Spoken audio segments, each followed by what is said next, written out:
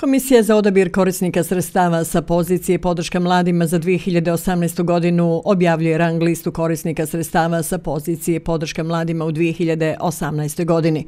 Radi se o podršci mladima u iznosu 100.000 konvertibilnih maraka koja se odnosi na sufinansiranje programa subvencioniranja kamata na kredite za stambeno zbrinjavanje mladi za što je planirano 80.000 konvertibilnih maraka i za subvencioniranje nabavke računarske i druge opreme 20.000 konvertibilnih maraka maraka.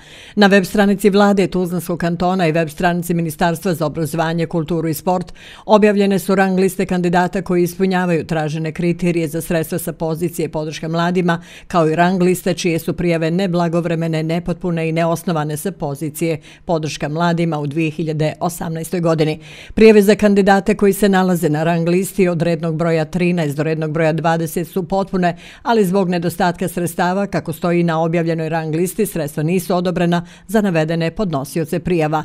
Na objavljenu listu kandidati imaju pravo podnošenja prigovora u roku od 8 dana od dana objavljivanja na web stranici vlade Tuzlanskog kantona i Resornog kantonalnog ministarstva.